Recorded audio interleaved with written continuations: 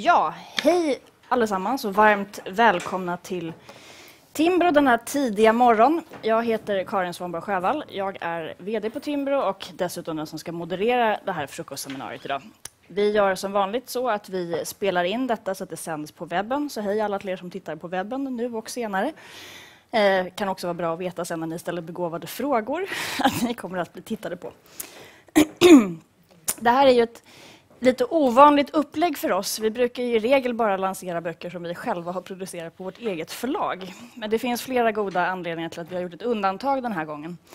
Och dels så handlar det förstås om att Nima Sanandaji har skrivit så mycket böcker för oss att han känns liksom som en del av familjen.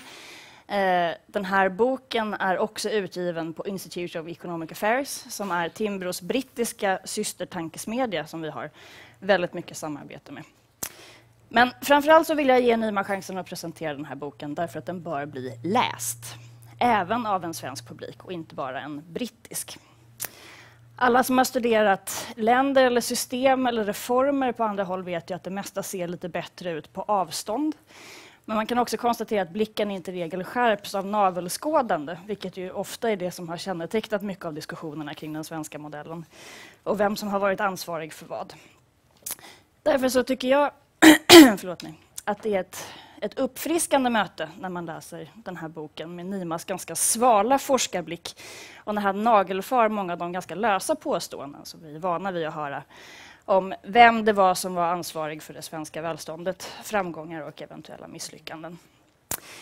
Så med detta sagt så tänkte jag ändå vilja avsluta med att säga att vi ska inte bara ha det mysigt, det ska man inte ha det på Timbro, så därför så kommer vi även att ställa upp Nima mot två opponenter mig är särskilt glada att ha här. Och det gäller kanske i synnerhet Lars Trägård, som alla rimliga människor vet är professor eh, i historia vid Ersta Sköndal och som nu snart också kommer vara aktuell igen med en nylansering, eller nyutgåva ska jag säga, av den oerhört inflytelserika boken Är svensk en människa? Vi kommer också, eller jag kommer också be min kollega Jesper Ahlgren, som är chefsekonom på Timbro sedan i februari, att ta på sig sina gamla stålbågade glasögon från Finansdepartementet för att skärskåda Nimas behandling av statistiskt material och ekonomiska kalkyler. Så med detta sagt, Nima, varsågod. Berätta om din bok. Så tack, väldigt kul att vara här. Tack för inbjudan. Den här boken, Scandinavian Unexceptionalism, kom ut igår i London och den har fått, eh, fick eh, tre pressklipp i Storbritannien och jag skrev också om den i Brännpunkt igår med koppling till det danska valet. Och det här är en bok som i grund och botten handlar mycket om bilden av den svenska modellen och den mytbildning som finns internationellt. Och bara för att kort gå igenom det här så har det ju framförallt sedan 70-talet någon gång odlats en myt om Sverige och andra skandinaviska länder som väldigt anmärkningsvärda, väldigt intressanta politiskt. Och bara för att ge en kort bild av den här mytbildningen, så om man läser Time Magazine i, i mitten av 70-talet, då beskrevs Sverige som ett land som var ett materialistiskt paradis. Och Time Magazine fortsatte att berätta Sverige har ingen miljöförstöring, inga slummar, inga sociala problem. Medborgarna har inga ekonomiska bekymmer. Det var verkligen ett paradis i med resten av världen. Och en viktig komponent i den, jag skulle ändå säga mytbildning som finns, är Scandinavian exceptionalism. Som ni märker, jag har ju valt titeln unexceptionalism, men den traditionella bilden är att Skandinavien är en helt exceptionell politisk kultur där man bryter mot ekonomins lagar. Det är lite som Göran Persson sa, att nordiska länder är som humlor. Ehm, eftersom humlan har en tung kropp så borde den inte kunna flyga. Eftersom nordiska länder har höga skatter så borde de inte växa. Men det gör de. Och det här är en bild som eh, bland annat eh, amerikansk radio, offentlig amerikansk radio i USA tagit upp, där Danmark för några år sedan beskrevs som ett land som bryter mot ekonomins lagar. Och Danmark hyllades i reportaget som ett helt fenomenalt land som har ingen korruption, jättehög tillväxt, alla offentliga tjänster man kan vilja. Och det här lyckas de med, det här superfantastiska, samtidigt som man har höga skatter. Så nordiska länder används ständigt internationellt som argumentet till varför man kan ha hur höga skatter som helst, det har ingen effekt på samhällsekonomin så länge man har en skandinavisk ekonomisk politik. Vad jag menar i den här boken är att det finns väldigt goda skäl att idealisera Skandinavien. Det finns väldigt goda skäl att idealisera Skandinaviens ekonomiska och sociala framsteg. Men det viktiga här är att skilja på orsak och verkan. Så den ytliga analysen är nordiska länder har väldigt hög jämlikhet, väldigt hög livslängd, väldigt bra sociala utfall och hög levnadsstandard. Och de har en socialdemokratisk ekonomisk politik. Så därför är socialdemokratisk ekonomisk politik vägen till alla framgångar. Men när vi tittar på nordisk historia blir det lite mer komplext. Så låt mig först ta det här med välståndet. Faktum är att Nordens ekonomiska framsteg är inte någonting man började uppmärksamma på 70-talet. Det finns en väldigt intressant eh, studie där en irländsk eh, historiker under 40-talet ställer en ganska enkel fråga. Varför har Danmark varit så mycket rikare än Irland, frågar han sig, under längre tid. Det här var en ganska intressant fråga. För att Danmark, sa, sa den här irländska historikern, hade ju sämre klimat än Irland. Mindre solsken. Danmark hade mindre regn. Och det här var ju två jordbruksländer. Irland hade kol, de hade naturtillgångar som var väldigt viktiga under den tidiga industrialismen. De hade en större befolkning, de låg närmare Storbritannien som ju var handelspartner till båda länderna. Så varför var inte Irland mycket rikare än Danmark? Varför hade danskarna i snitt 50 procent högre levnadsstandard än irländarna? Det här var en väldigt intressant fråga i en tid där Danmark var långt ifrån en socialdemokratisk välfärdsstat. Det var ett land med väldigt låga skatter, väldigt fria marknader. Och det svar som den här irländska forskaren och en eh, annan kollega till honom senare kom fram till var att Danmark var rik tack vare några faktorer.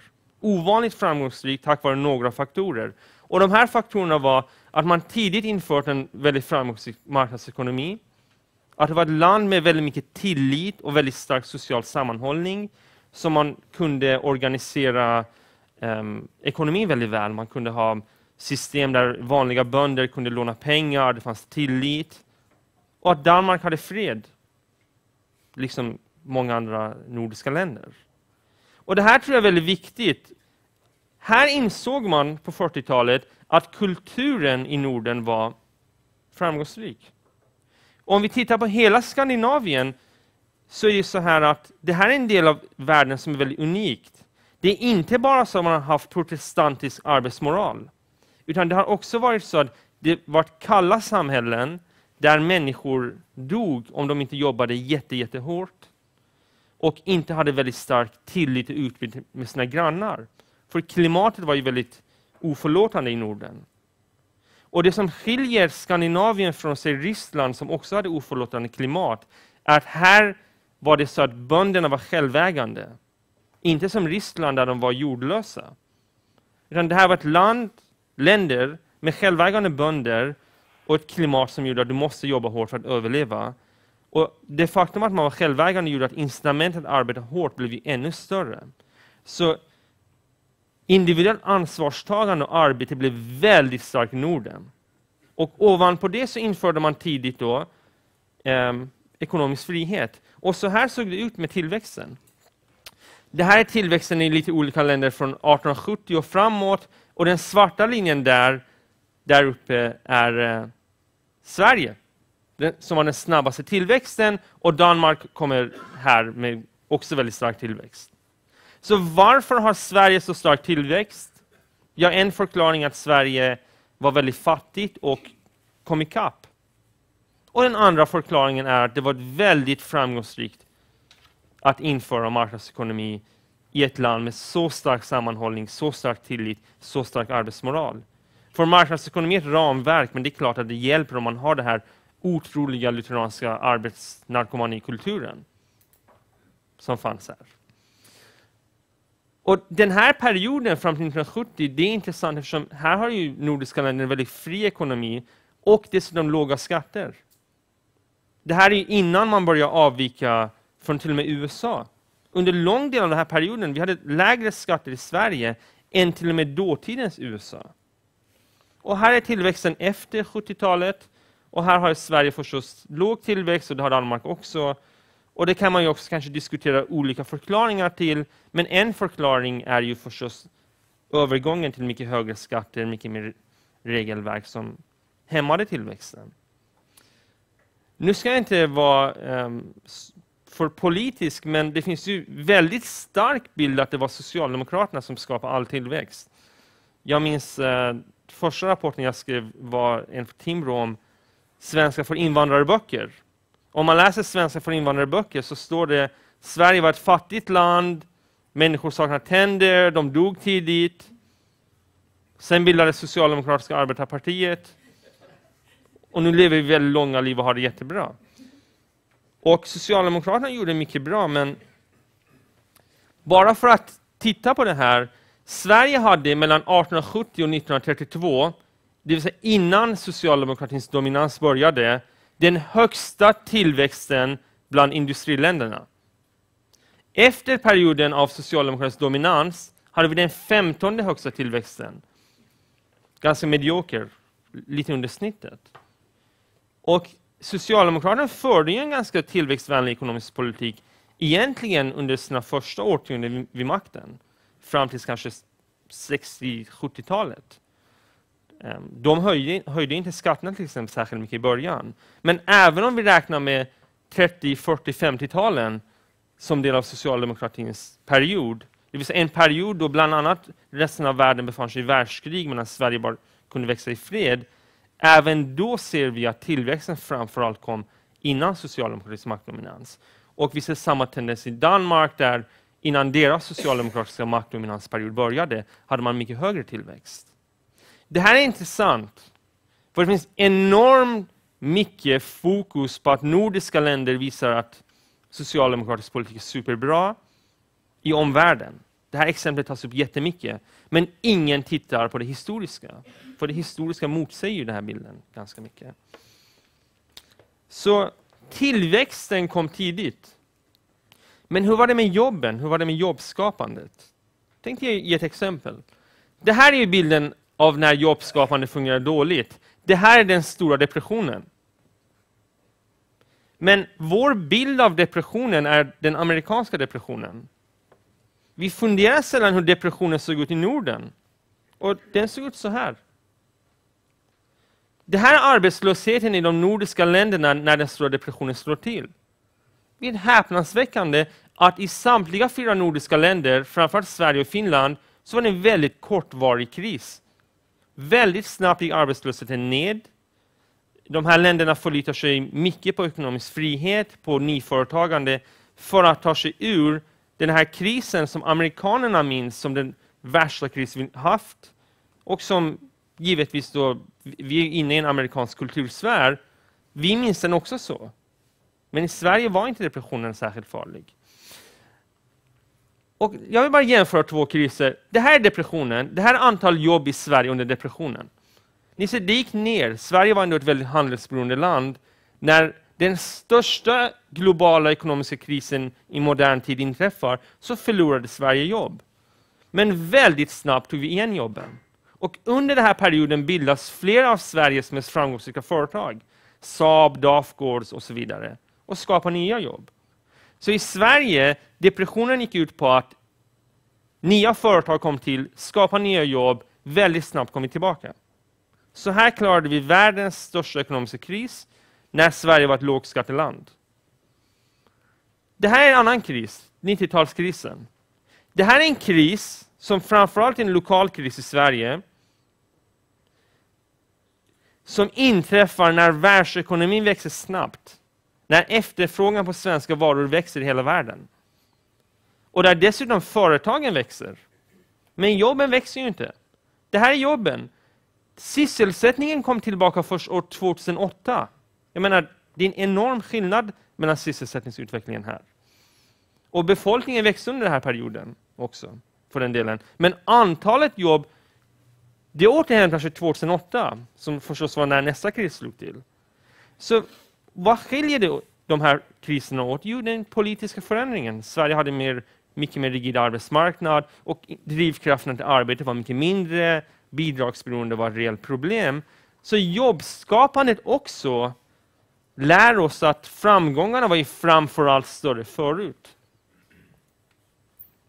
Så det finns en intressant sak att säga då att visst är Norden framgångsrik, men är det verkligen så att framgångarna kom efter policyskiftet mot högskattepolitiken, som nästan alla antar? Men den historiska bilden visar inte det här. Men det här är ekonomi och tillväxt. Om vi tittar på hög livslängd då i de nordiska länderna. Jag har gjort en graf här för att illustrera det här. Här ser vi livslängden 1960 bland ehm, en rad utvecklade ehm, industriländer. 1960 var ju när nordiska länder fortfarande hade ehm, låg skatt, lägre skatt än USA till och med hade man haft länge under den här perioden. Och då ser vi att nordiska länder 1960 hade väldigt hög livslängd. Det här var länder som hade små välfärdsstater, små väldigt välfungerande välfärdsstater. Och Norge har högst livslängd, Sverige, Island, Danmark. Sen hoppar vi till 2005 när verkligen de nordiska välfärdsstaterna stod på sin topp innan skattesänkningarna hade kommit, innan finanskrisen. Fortfarande har nordiska länder väldigt hög livslängd. Men titta här, de har ju halkat. Sverige har halkat hit, Norge hit. Danskarna som gillar eh, öl och party har halkat dit. Ett land har gått upp. Vilket land är det? Island. Varför lever islänningarna så länge? De har ju så fantastiskt klimat. De bor på isen. Det är kanske för att de har hög skatt. Island är det enda nordiska land som aldrig riktigt gått mot en riktig högskattemodell. Alltid haft en mindre offentlig sektor. De går om övriga nordiska länder och de bor på isen. Ja, vad säger oss så här? Ja, det är kulturellt. Lång livslängd. Det är klart att det reflekterar att man i Norden har bra sjukvård. Men det är inte direkt kopplat till, till offentlig sektors storlek som folk tror. Men herregud, Danmark har ju världens högsta skatt och de rasar relativt sett. Det här får man inte heller höra när man diskuterar nordiska modellens framgång. Uppenbarligen är den väldigt kulturell. Jämlikhet är också intressant, för det finns en rad studier som visar att jämlikheten i Sverige uppstod just under den här perioden där man hade en väldigt bra välfärdsstat med finansierad av låga skatter och väldigt hög ekonomisk tillväxt. Och Det kan man se också i studier av Danmark. Och Vad är det då som präglar länder med hög jämlikhet? Vi tittar igen. Island, återigen den nordiska stat som aldrig haft samma stora välfärdsstat, har jättehög jämlikhet. Slovenien har hög jämlikhet. Tjeckien har hög jämlikhet. Men vad, vad är det vi ser här? Vad är sambandet? Det tydliga sambandet, det helt uppenbara sambandet, det är länder med en homogen befolkningssammansättning. Där man har en stor grupp i befolkningen. Som Island, det är ett gäng vikingar som fastnar där. Mm, hög jämlikhet, det är självklart. Sen är det så att historiskt har länder med hög eh, homogenitet ofta infört stora välfärdsstater, det är välkänt. Så vad är orsak och vad är verkan? Och min poäng är inte att man inte genom omfördelningspolitik kan främja ekonomisk jämlikhet. Det är klart man kan det. Men de generella sambanden måste man ju förstå i ett korrekt kon kontext. Och de nordiska ländernas jämlikhet kom innan övergången från medelhöga och låga skatter till riktigt höga skatter. Det är ändå värt att hålla i sinnet. Och isländska framgången är verkligen värt att hålla i sinnet. För om de klarar sig bättre i livslängd och jämlikhet än Sverige med betydligt lägre skatter så säger det någonting om att vi kanske också skulle kunna röra oss mot den modellen, behålla framgångarna. En annan sak är nordisk kultur med amerikansk kapitalism. Jag skrev för det här för några år sedan och det fick väldigt mycket uppmärksamhet. Att vad händer om vi jämför skandinaver med skandinavamerikaner? Och det här händer, för det första är det så att skandinaver i USA, deras ättlingar, de har samma låga nivå av fattigdom som i de skandinaviska länderna, kanske till och med lägre. Och de har mycket högre levnadsstandard. Så svensk, eh, amerikanerna de har 39 procent högre levnadsstandard än svenskarna i Sverige. Och Det här är ättlingar till de fattiga svenskarna som åkte till USA. Den grupp som kallar sig skandinavamerikaner har ännu högre levnadsstandard. Och det här kan vi också se för alla nordiska länder. Eh, Undantaget Norge som sitter på alla sina oljetillgångar, men norsk-amerikanerna är i princip lika rika som norrmännen, utan olja. Och återigen socialt framgångsrika.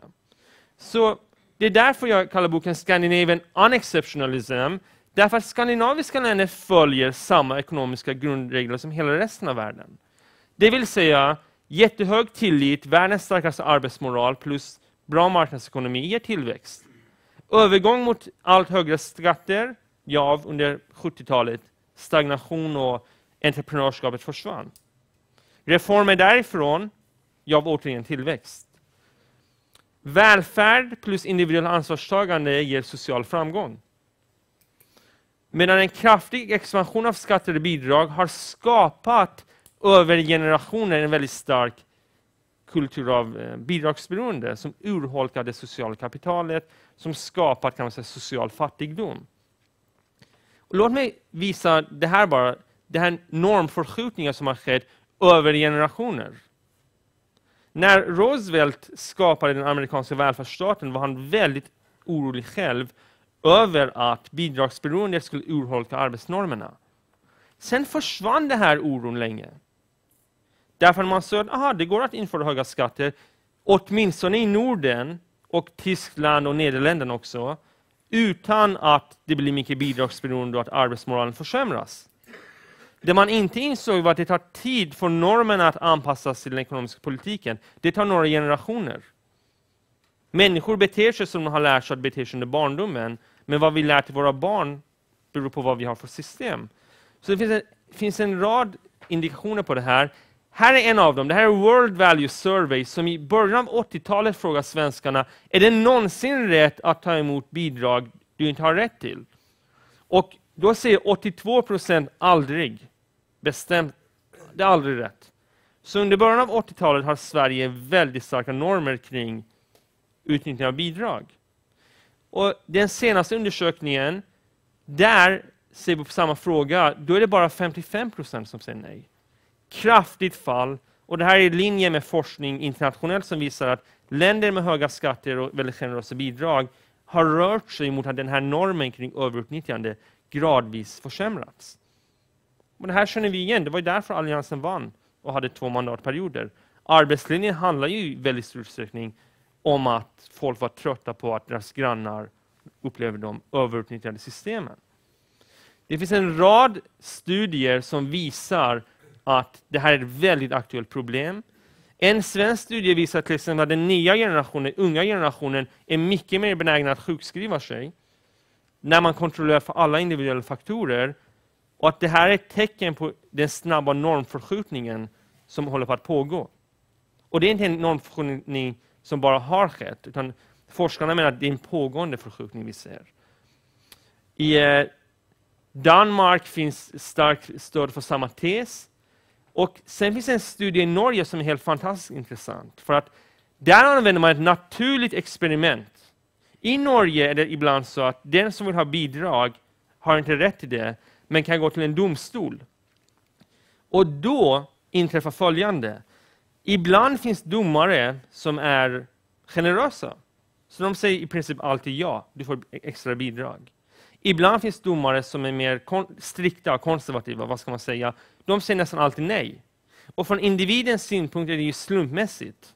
Och då kan man jämföra de här och då ser man i ett väldigt väl genomfört studie att övergenerositet i välfärdsstaten, det vill säga att domaren säger ja till bidrag man egentligen inte har rätt till, ökar inte bara familjens bidragsberoende utan kraftigt påverkar barnens framtida risk att själva försörja sig genom bidrag snarare än arbete. Så det finns en social fattigdom som uppstår för att man rör sig för mycket till bidragssamhället, inte minst i oljerika Norge.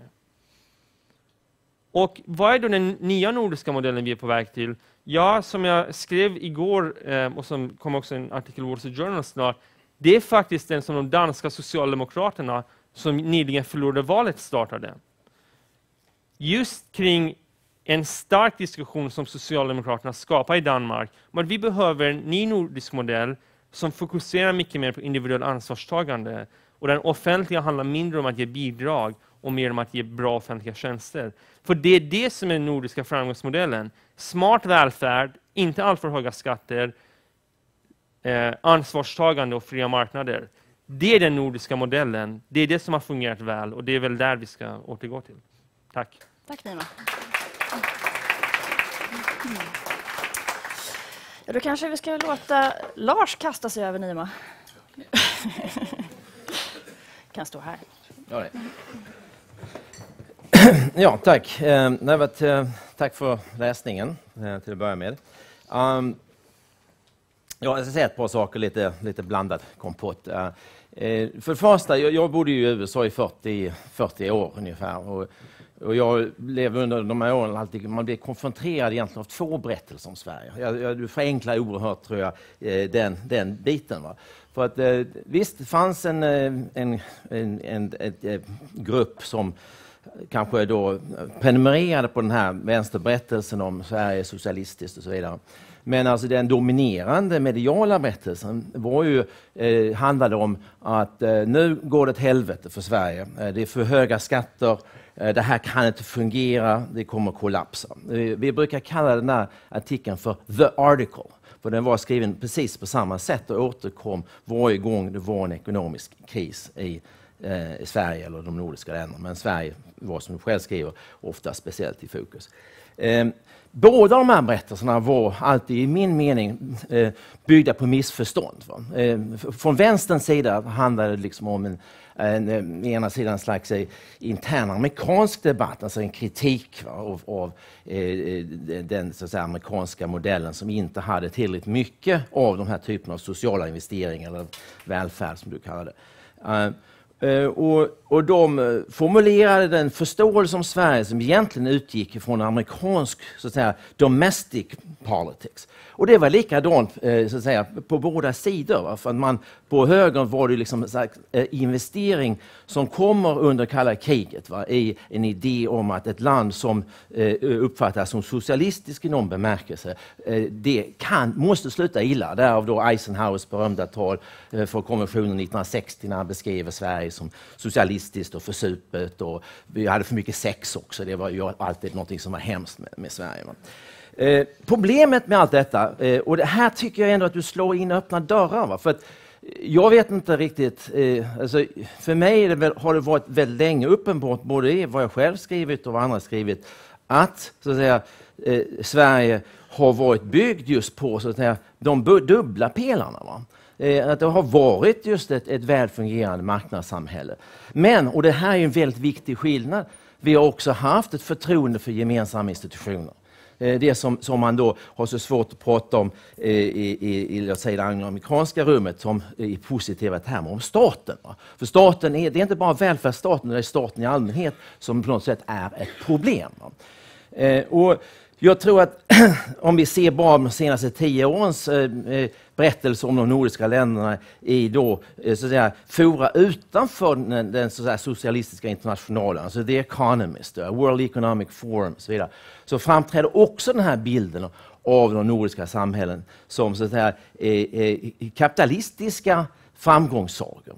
Så jag tycker lite grann va, så faller du i så att säga, en, en liten retorisk fälla där du så att säga, kritiserar den här så att säga, slentrianmässiga eh, vänsterbilden av, av eh, liksom third way socialism och sånt. Va. Men samtidigt så, så talar du själv inom ramen för den här andra berättelsen va, om Sverige lite grann, tycker jag. Eh, och jag. Jag tycker du borde egentligen fokusera mer på det som, som, som är väl värt att diskutera, eh, som återigen tror jag finns mycket mer existerande litteratur om, nämligen de här, det du kallar för de, kulturella aspekterna. Eh, för att, jag menar, vi är helt eniga, och jag menar, det, är, det är så som jag och Henrik också har skrivit fram detta, vad det gäller de histori djupa historiska rötterna. Vad det gäller, eh, som du är inne på, eh, avsaknaden av feodal tradition, eh, fria ägande bönder. Alltså, vi är ett land baserat på så att säga, en, en moral som handlar just om ägandet va, av egen mark. Ja. Och där, vi, där är vi, precis som du säger, oerhört annorlunda från inte bara Ryssland, men helt från hela Europa. Eh, så, så detta är viktigt. Va? Men lika viktigt ur ett kulturperspektiv är ju så att säga vår tilltro till gemensamma institutioner, eh, till, till, till staten. Va? Eh, detta är en oerhörd fördel och det kan man inte separa, separera ut. Jag tror du resonerar lite grann som en hel del statsvetare gör. Man tar kultur och sätter det så att säga, mot institutioner och mot eh, ekonomi. Men det är också kultur. Välfärdsstaten är en del av den svenska kulturen. Den är inte något separat som är ute och far utanför, utan detta bygger på en oerhört lång historisk tradition eh, av en positiv syn på, på staten, en nära relation mellan så där, folk och, och makt, eh, som är det intressanta i min mening. Sen är det så att precis som du är inne på så har det då varit fluktueringar vad det gäller till exempel skattepolitiken. Men det är ju inte heller så om vi tittar på dina grafer.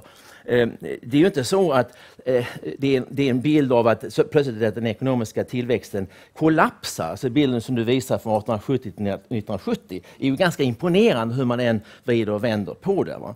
Eh, och det är inte heller så att, att säga, vår genomsnittslängd har liksom kollapsat. Det handlar ju väldigt mycket om att andra länder gudskelov mm. också har kommit ikapp. Va? Och det är väl en, liksom en, en väldigt positiv eh, bit. Va?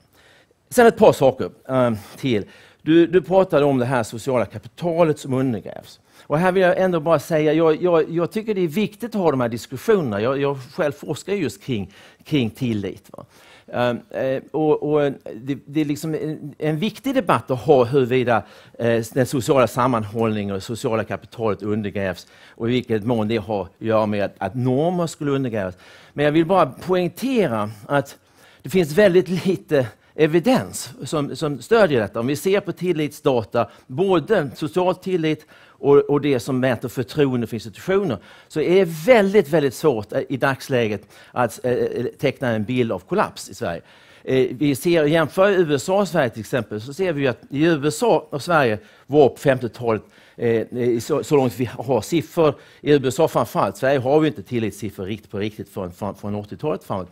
Men vad vi kan se är att i USA har det gått neråt. Va? De nordiska länderna har alltså, tilliten varit stabil och uppåtgående. Va?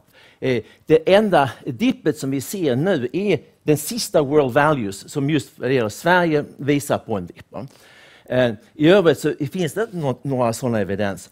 Samma sak om vi ser på det, medborgarnas engagemang, alltså det, det som vi pratar om, engagemang både formellt och, och informellt, så är det också oerhört stabilt. Så det är, det är väldigt svårt att, säga, att peka på eh, eh någon form av evidens för den typen av nedgång. Det betyder inte att inte vi bör ha en debatt kring detta eh, vad det gäller att säga, arbetsetiken och, och, och, och, den sociala sammanhållningen. Men, men jag tror att det är en viss obalans i din presentation av detta. Eh, de, de nordiska länderna framstår fortfarande, eh, och än mer i ett globalt perspektiv, som, som extrema högtillitssamhällen. Eh, så att där tror jag liksom vi, vi kan ha en liten en, en diskussion. Sen tror jag också att eh, du, ibland i boken här så läser man lite grann som om, om det här liksom handlar om eh, någon form av planned economy-experiment och, och dependency och handouts och så vidare. Alltså, den nordiska eh, modellen vad gäller just de sociala investeringarna har ju tvärtom varit knuten väldigt mycket just till arbetet.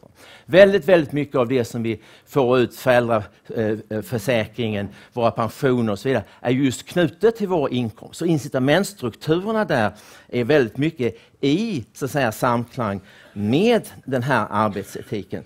Eh, vi har inte den typen av så att säga, welfare queen, welfare state som man ofta så att säga, diskuterar kritiskt i, i de anglosaxiska länderna. Så det är liksom en annan typ också av, av system.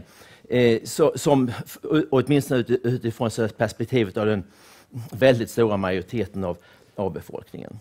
Eh, det här med unexceptionalism är också intressant. Alltså, Peter Baldwin, en amerikansk historiker, skrev för ett par år sedan en jätteintressant bok där han just jämför Europa och USA och ta död på de här myterna om att det skulle vara såna jätteskillnader mellan USA och Europa. Han visar att USA i den här statistiken är en slags middling European country. Eh, men vad som framstår som just outliers är just där de nordiska länderna. Eh, och det finns mycket data som visar på detta, både vad det gäller eh, vad jag har skrivit om den nordiska betoningen just på individens autonomi, men även då tillitsdatan. Den här paradoxen där vad det gäller tillit å ena sidan och betoningen på individuellt oberoende å den andra. Återigen är det här kopplat både i min mening till så att säga, de långa historiska perspektiven men också till det sätt på vilket vi har eh, organiserat så att säga, eh, den moderna, eh, det moderna samhället eh, i, i, i, Sverige. Eh, så att, eh, ja, jag stannar där, va? för vi har ytterligare en kommentar. Jag kan återkomma lite grann i diskussionen. Kanske. Superkort. ja. ja. Så det är egentligen välkänt, mycket av det som står här, liksom att Sverige utvecklades, Nord, Norden utvecklades tack vare fria marknader. Men det är inte välkänt väl för, för myten lever vidare. Så därför samlar de här argumenten väldigt systematiskt här. För det räcker inte att några forskare kan det. Sen så här, den, ingenstans handlar det här om att det är en kollaps av levnadsstandard eller jämlikhet. Poängen är att visa att nordiska länder hade lika bra utfall, kanske bättre, i, i livslängd, jämlikhet innan övergången mot högskattesamhället och att nord, nordbor i USA också har samma eller bättre förutsättningar där. Och när det gäller normer, eh, du, där håller jag inte med, för du ser hela tilliten till offentlig sektor. Det har jag inte skrivit har kollapsat. Det är ju arbetsmoral och bidragsmoralen. Och där tar jag upp forskningarna som om och om visar det här. Och här kan vi se på Norge, som är enda nordiska land som har behållit en väldigt generös välfärdspolitik eftersom de har oljepengar. I Norge, där har ju arbetsmoralen bland unga kollapsat. Jag citerar en studie där man frågar nor norska arbetsgivare, anser du att norska ungdomar har stark arbetskapacitet? En av 50 svarar ja på frågan.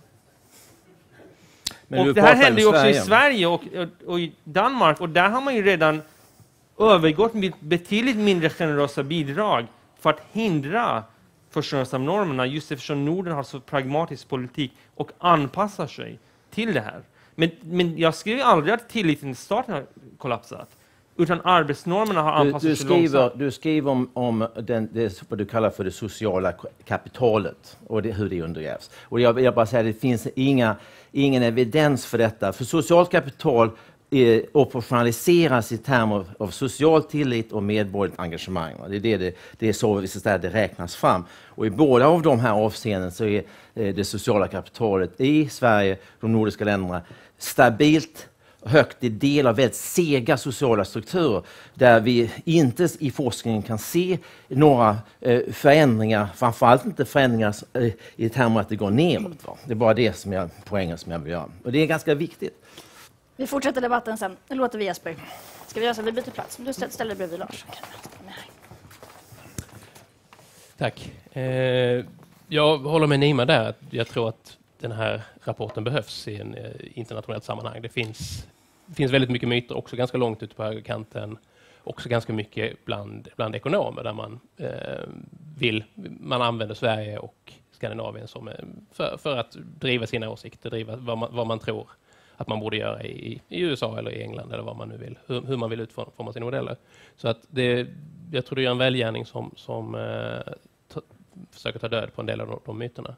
Eh, det jag tyckte var intressant med, med rapporten, mycket är ju känt för om man är, följer svensk debatt, är ju eh, egentligen att vad är den svenska modellen? Att det finns en eh, eh det, det, det, är en modell i ständig förändring och eh, som, som såg väldigt annorlunda ut eh, fram till andra världskriget. Sen har du ytterligare en modell efter andra världskriget med, med, med det socialdemokratiska inflytandet eh, som sen, sen har reformerats igen efter, efter 70-talet och ännu mer efter 90-talskrisen.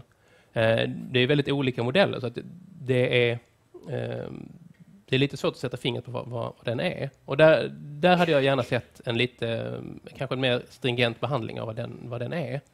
Vilka delar vi, som är, eh, är de centrala. Det blir mycket fokus på skattenivåer. Lite grann för att det är lätt att mäta. Man kan göra snygga grafer på det och man kan, kan få till Eh, man, man, kan, man kan se hur det har förändrats från de låga skattenivåerna i början eh, fram till, fram till 70-talet och, och sen hur de har gått ner igen. Um, Men eh, jag tror att om man skulle dela upp det i hög, eh, höga skatter, transfereringar, eh, då a-kassa och sjukförsäkringar och pensionssystem. Ehm, arbetsmarknadsregleringar med, med LAS och med, med eh, lönebildningen. Ehm, Regleringen av produktmarknader ehm, och eh, den offentliga välfärdsproduktionen, de fem delarna. Så tror jag att om man hade tittat på de, de delarna och, hållit, och lite grann hållit isär dem så skulle man kunna ge, ge en ganska Eh, och du har de olika delarna med, men, men, om man hade gjort det tydligare så kunde man också kunnat se en ännu tydligare bild av den här förändringen. Eh, från, från eh, ganska, för det mycket, vi, vi, har, mycket har reformerats sen, eh, sen, uh, sen 70-talet och, och liknande. Skattenivåerna har kommit ner. Eh, produktmarknaden är, är, ju väldigt mycket mindre reglerade nu än, än tidigare, eh, med vissa undantag. Eh, och, eh, med, medan det finns andra områden som vi inte har rört alls, som arbetsmarknadsregleringar eh, och den offentliga välfärdsproduktionen, även om den har, då har reformerats, att vi har fått in privata aktörer, men den är fortfarande offentligt finansierad. Så det, det, där tror jag att man hade vunnit ganska mycket på att få en, en, eh, en djupare bild. Det är möjligen att, att det hade varit, gått över huvudet på en del av, av de, den internationella publiken, men, men som, som svensk skulle jag tycka att det var väldigt eh, spännande att se, för det, det väckte mycket tankar när jag läste det. Um, sen skulle jag också... Ja, förresten, Eh, det skulle jag vilja höra din, din kommentar också, för när man tittar på hur eh, modellen har förändrats, och just att vi har, eftersom det blir uppenbart att modellen, att man, modellen på 70-talet inte fungerade, så har man då reformerat i olika steg. Avregleringar på produktmarknader, eh, skattesänkningar eh, Eh, och en mängd olika reformer. Eh, efterhand, det är ganska motvilligt ofta, men, men när det inte fungerar, när, när sjukskrivna springer iväg så måste man, eh, då, då, måste man stärka arbetslinjen igen och liknande. Eh, det intressanta är ju då att se på de delar som, som, som inte har reformerat. Eh, vi har fått ner eh, skattenivåerna marginalskatterna för medelinkomsttagare till europeiska nivåer. Däremot så är skattenivån för låginkomsttagare, alltså lönsamheten att gå in och börja arbeta, är fortfarande väldigt höga.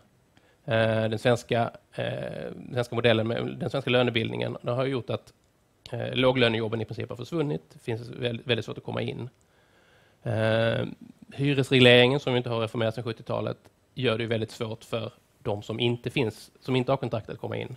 Liksom då den, den bostadsmarknaden i övrigt där man, där man behöver ha ett kapital för att kunna komma in. Um, likadant, likadant med arbetsrätten med anställningsskydd och så som skyddar de som, som är, eh, redan, redan gynnas, gynnas av modellen. Så att bilden, när man tittar, så där, den bilden ges ju att eh, den svenska modellen har på att bli en, en välfärdsmodell för, för medelklassen. Välfärdsmodell för de som kanske inte behöver välfärden. Eh, vilket i den ivern att reformera och göra den mer effektiv har eh, missat eh, en del av, av poängen, nämligen att, att minska ut, eh, förbättra utfallen för de, de, sämst, de sämst ställda. Och det syns ju väldigt tydligt i de siffror som, som Nima tar fram också kring arbetslösheten. Eh, om man tittar på, på eh, inhemskt födda eh, mellan 25, som födda med, eh, mellan 25 och 65 år så är arbetslösheten 4 procent nu. Och det trots att det är en, en ganska svag konjunktur. Men det, det, är, i princip, det är i princip full sysselsättning.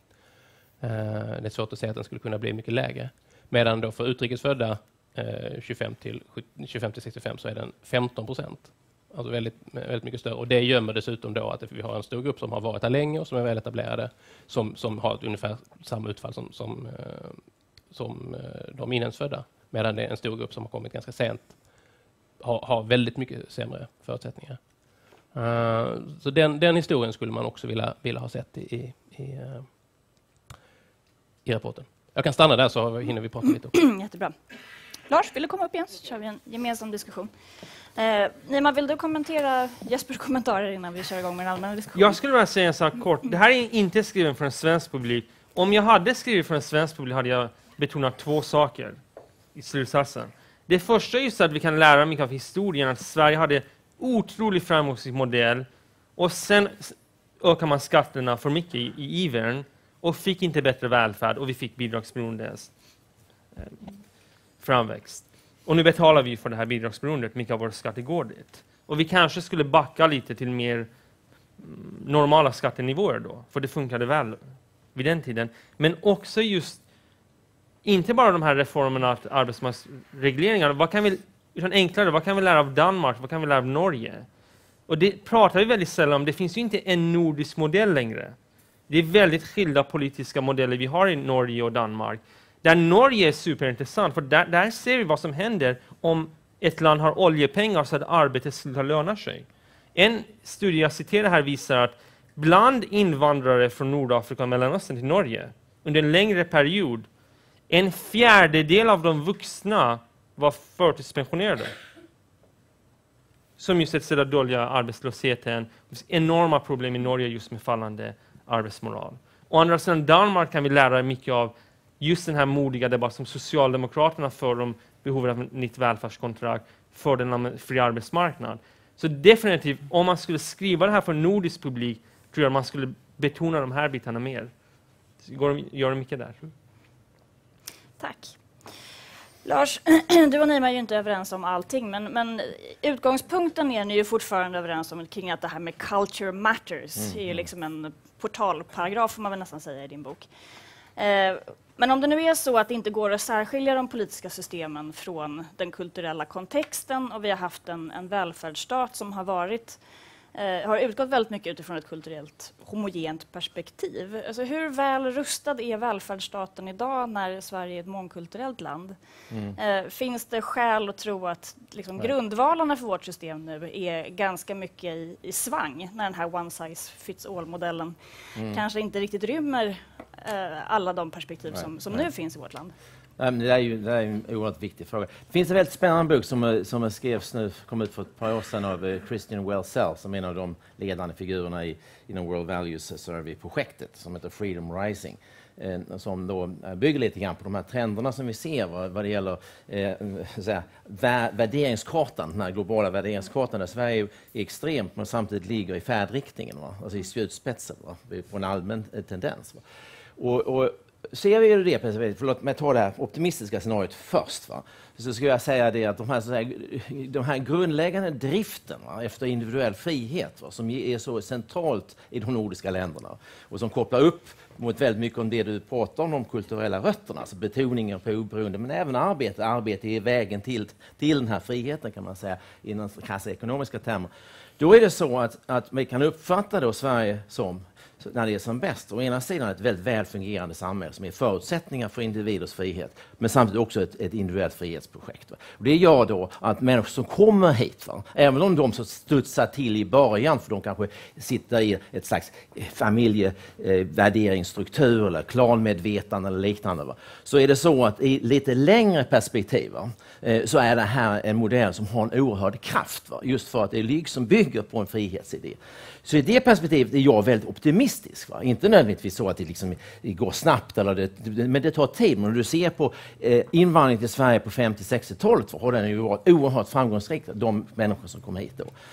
Eh, så det är det ena. Det andra är då, det mer pessimistiska perspektivet är ju så att säga i den mån då som vi, vi tror att eh, andra värderingar som är baserade på en annan syn både på staten, och individen och familjen, eh, eh, att de skulle vara väldigt sega och, och liksom på något sätt permanenta. Va? Ja, då kan vi säga att det här är ett problem. Va? Alltså om folk kommer hit med andra värderingar och syn på hur saker och ting ska se ut.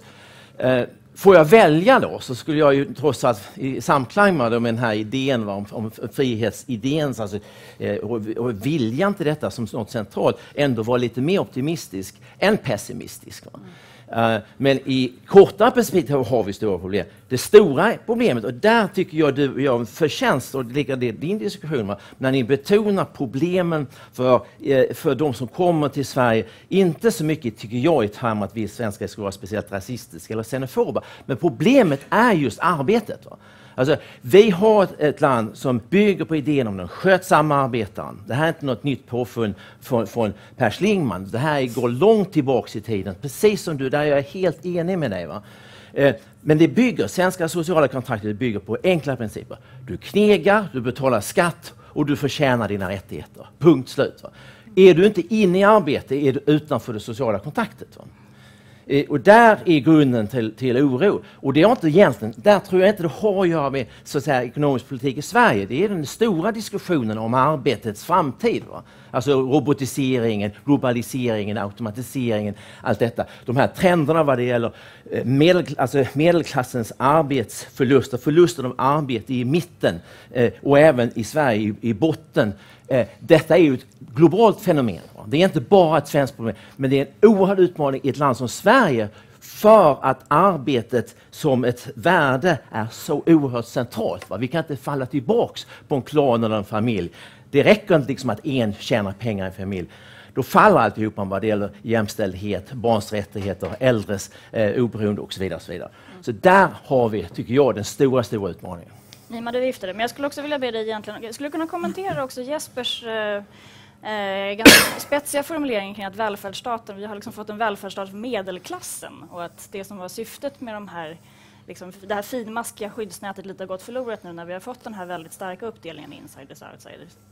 Så en kort kommentar till det, och det är en intressant fråga. Jag håller med. I viss mån är det inte alltid helt dumt. Till exempel vi har förskola. Man kan ha en ideologisk debatt om det, men det är helt okej system. Sen har vi för mycket välfärdsstat för medelklassen. Det kan jag hålla med om. Men man kan ju ha en del välfärdsstat för medelklassen. Ibland är det en smart lösning. Jag håller med allt du säger, men jag har en ny rapport som kommer ut från en annan brittisk tankesmedja snart. Låt mig bara se vad jag kommer fram till. För det handlar om integration. Då jämför jag fyra nordiska länder med fem anglosaxiska länder. Och som man kanske kan förvänta sig, de fyra nordiska länderna är konsekvent mycket sämre på integration. På arbetsmarknaden. Det kan man förvänta sig. Sen tittar jag på två andra mått på integration som är välfärd. En är upplevd hälsa och den andra är barnens skolresultat. Och här blir det häpnadsväckande. För i Norden har vi universella välfärdsstater. I anglosaxiska länder har vi de minsta välfärdsstaterna i väst. Även kring upplevd hälsa och kring barnens skolresultat är det konsekvent så att integrationen fungerar bättre i de fem anglosaxiska länderna än de fyra nordiska. Det är ganska häpnadsväckande. Och min enda förklaring till det här egentligen då är att bidragsberoendet som sker här på grund av den ekonomiska modellen skapar en så djup social fattigdomsfälla att man också får sämre upplevd hälsa och sämre objektiva skolresultat bland barnen och även större gap till de infödda än man får anglosaxiska länder där man har mycket mindre offentlig välfärd som ju förstås gynnar låginkomsttagande invandrare mm. men där man kommer i, i liksom, man kommer i arbete och då lyfts man socialt och då lyfts barnen socialt. Så vi har sämre välfärd för invandrarna, kan man nästan säga, än de länder som har mycket mindre välfärd. Mm. Paradoxalt nog. Jesper, vad tror du? Är det så att, att arbetslinjen är, är det en förutsättning för en framgångsrik svensk modell? Eller eller ska man snarare se det som att det kanske är en del av den repressiva mm. liksom, svenska välfärdsstaten kring att vi ska gå upp på varje morgon och bli väckta av Stefan Löfven för att kunna fylla på Magdalena Anderssons tomma lador? Seminarium klockan åtta. Nej, jag tror absolut att det är en, en eh, förutsättning för att kunna, kunna ha ett, ett, ett välfärdssystem eh, överhuvudtaget. Så, så, så är det, det är ju hela grunden. Eh, och det är hela utmaningen för, för en, en, eh, en regering är ju att hålla ordning på på de eh, utgifterna, som, som transfereringsutgifterna egentligen. Det är, det, det är de som sticker iväg och det är då, det är då länder får problem. Så det, det, det, håller jag absolut, absolut med om. Och det är ju, där har vi ju nästa, eh, nästa utmaning är ju sjukskrivningarna som, som sticker iväg och där man inte riktigt vet varför. Ni har en, en teori där som, som kan låta, låta trolig. En annan är att Försäkringskassan har, har eh, är mindre, eh, mindre hårda i sin bedömning nu än vad de var tidigare när, när sjukförsäkringen, eller sjukskrivningarna var mer, mer i ropet i början på 2000-talet. Eh, men de, de, de stiger ju eh, explosions, explosionsartat. Så där, där, det finns, där finns ju en utmaning.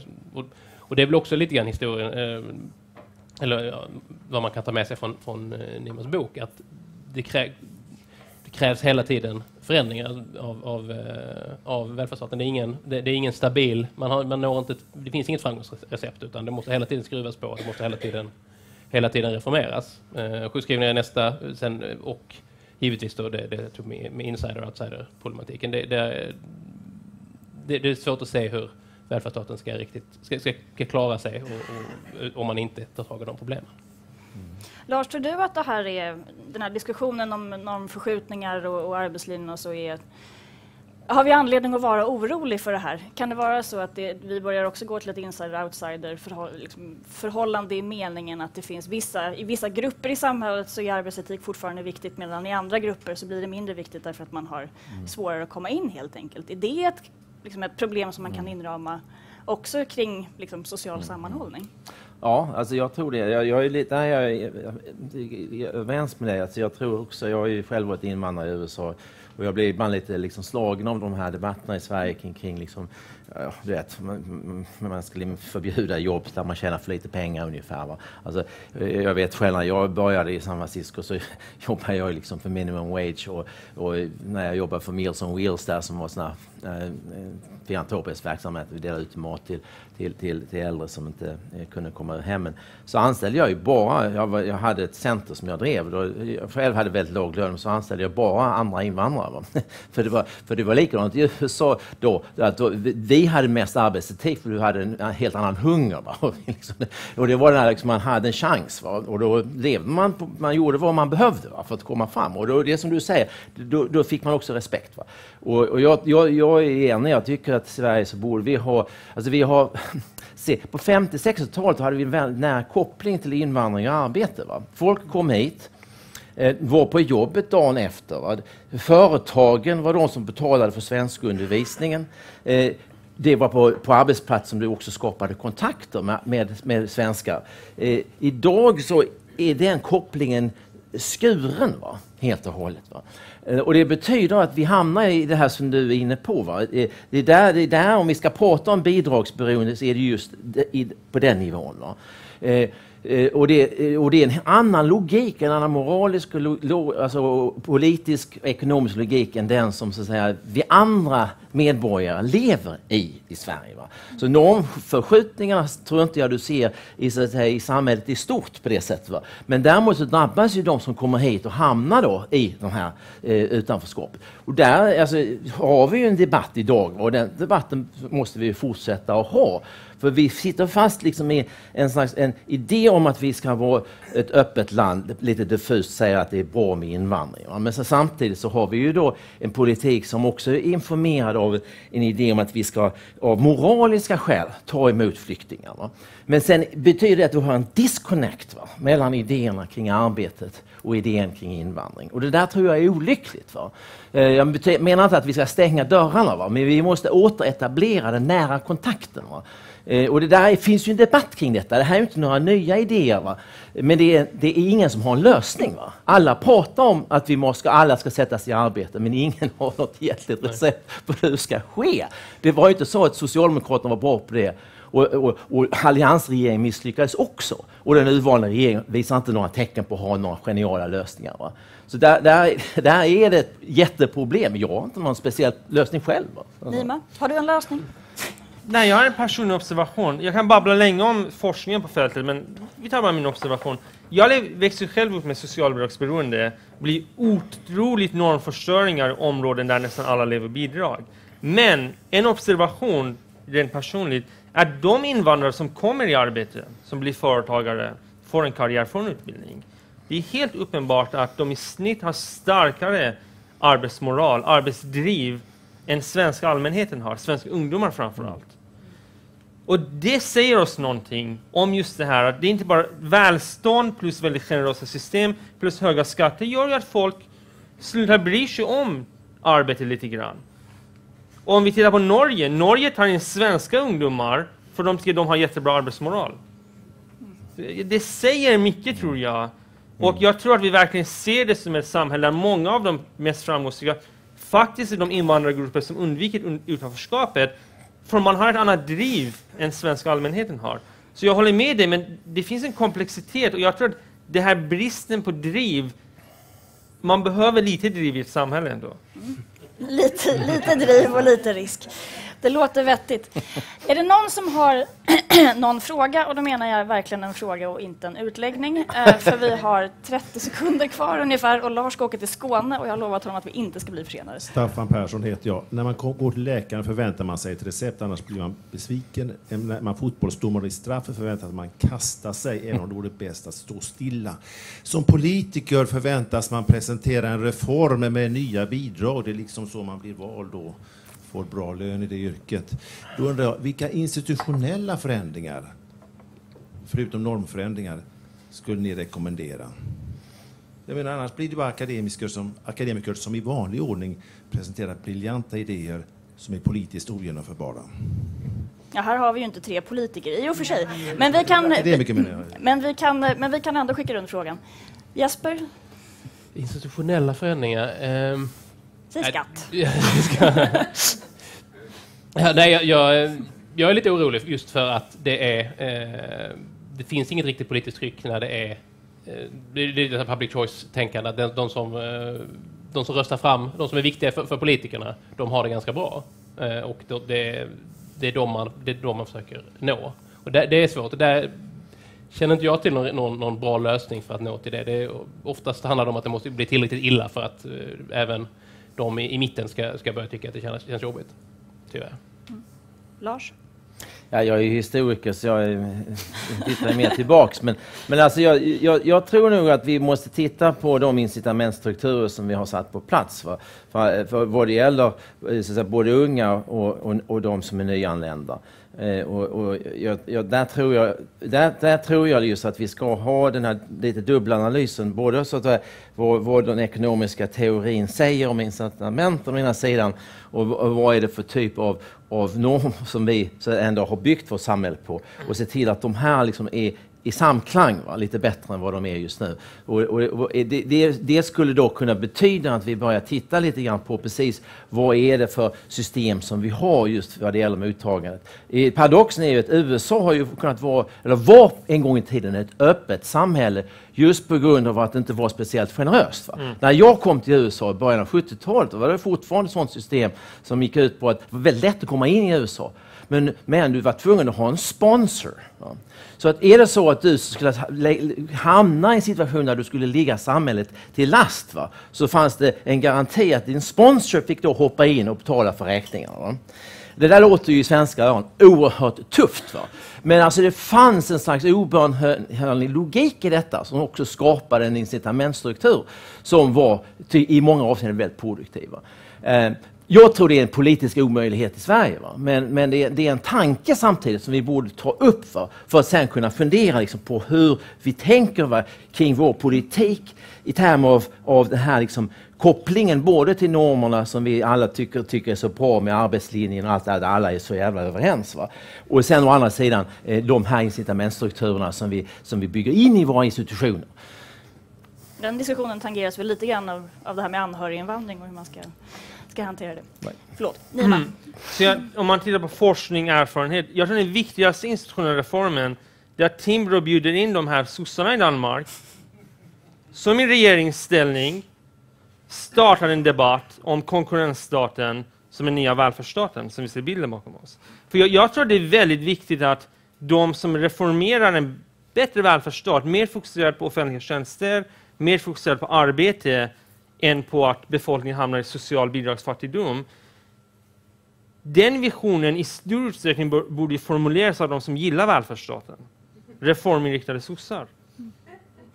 Och de har kommit längre än Alliansen kom i Sverige. Alliansen sa bara att vi ska ha en arbetslinje. De tog inte en helhetsvision om framtidens välfärdsstat. Vi har inte haft en debatt om framtidens välfärdsstat förutom supernyliberal kritik.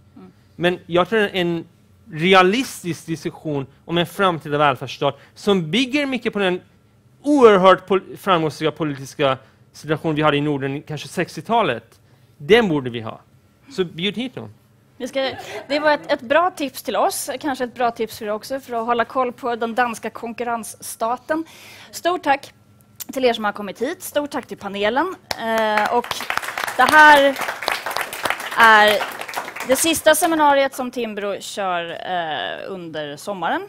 Men vi kommer att eh, fortsätta jobba. Jag tänker inte ha någon semester, nästan alls. Eh, och i augusti så är vi tillbaka i full sving, så då hoppas jag att jag ser er här igen. Varmt tack.